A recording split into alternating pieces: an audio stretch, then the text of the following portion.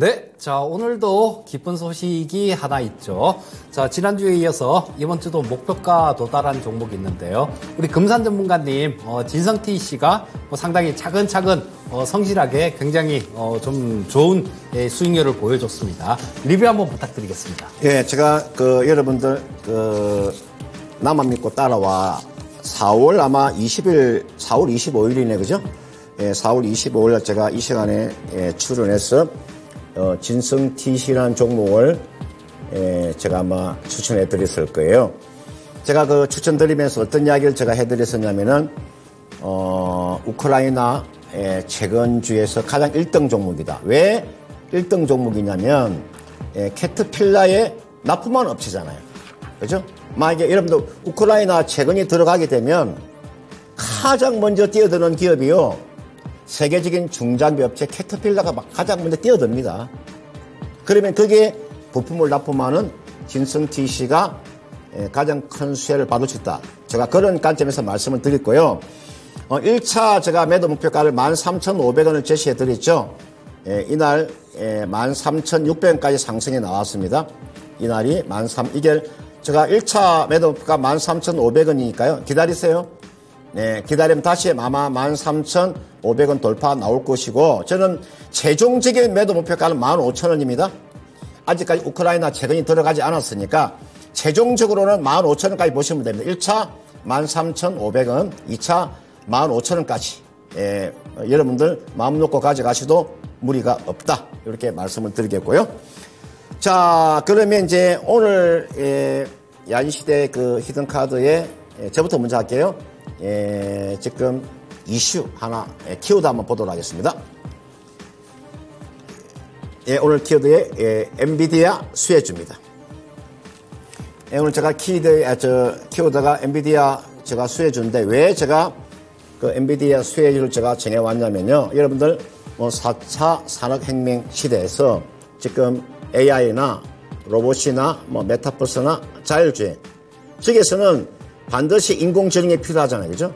그러니까 최근에 AI 때문에 엔비디아 주가가 뭐 사실은 예, 폭등을 한 거죠. 1월 3일 날 제가 엔비디아 주가가요. 한 주당 143달러에서 예, 제가 아마 그 배워야 산다 시간에서 이런 아마 기억을 하실 거예요. 제가 배워야 산다에서 어, 미국의 주식을 매수할 때 어떤 종목을 매수하면 되느냐 제가 답을 가르쳐 줬을 거예요. 엔비디아를 해라. 그때 당시 엔비디아 주가가요. 거의가 저 가격에 놓였던 거예요. 제가 보니까 어제까지 엔비디아의 한 주당 가격이 422달러니까 올해 엔비디아 주가가 195% 상승을 했습니다. 그 다음은 우리가 같은 업종이라 하는 어, AMD가 한 87% 급등이 나왔고 인텔이 한 38% 급등이 나왔어요. 가히 지금은 인공지능 시대다 이렇게 볼 수 있는 거고요. 시가 총액을 보니까 엔비디아의 시가 총액이 지금 세계 6위입니다. 얼마나 하면은 1361조예요. 제가 예, 이게 나와 있는 그 전 세계 지금 그 시가 총액이 있잖아요. 1위부터 제가 그 20위까지 제가 한번 다 뽑아왔는데 제가 간단하게 한번 볼게요. 어, 애플이 1위고요. 마이크로소프트 2위고 예, 사우디 아람코가 3위고요. 예, 알파벳이 4위고요. 아마존이 5위고요. 예, 6위가 엔비디아예요.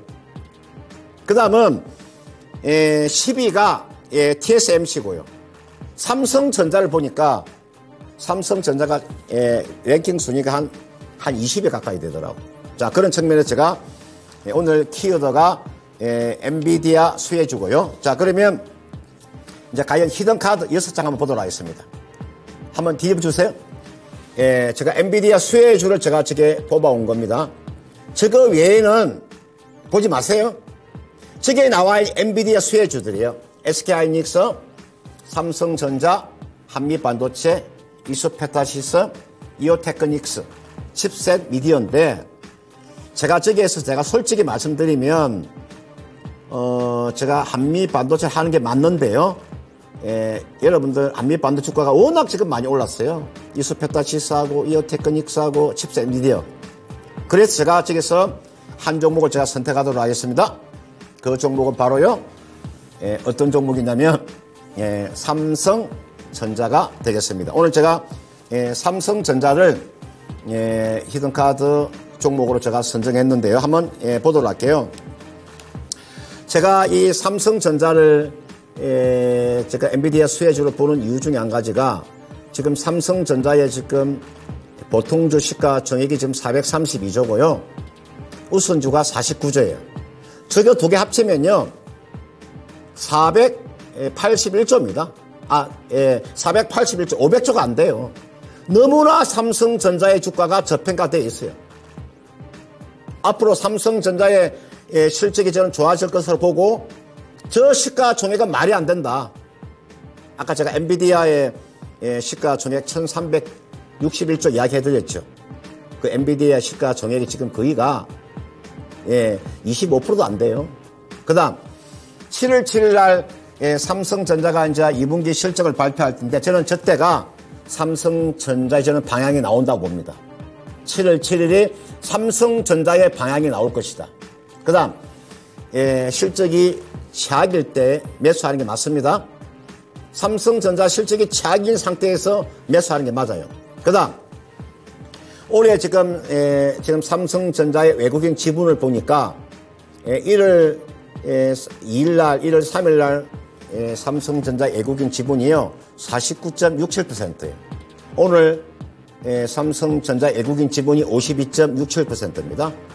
그러니까 쉽게 말씀드리면 외국인들이 삼성전자 주식을 에, 3% 이상 매수했다는 겁니다. 자 그런 측면에서 제가 에, 삼성전자의 예, 매수는 매수가를 한번 제가 한번 제시해 예, 드릴 테니까 어, 드릴 테니까 한번 보세요.